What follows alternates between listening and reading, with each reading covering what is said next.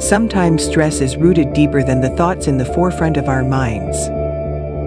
Stress can be deeply rooted in our bodies, in muscle tensions and habits of shallow breathing. If we carry ourselves physically as if we are stressed, we continue to harbor that stress in our muscles and minds.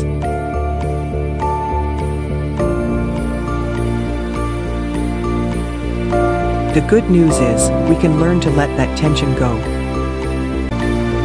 We can change our mental habits, our mental perspective, and we can learn to release tension in our bodies.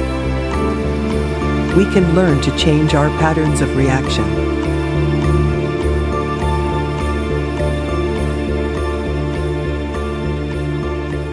Subscribe to our YouTube channel to get a chance to win the book. Link in bio.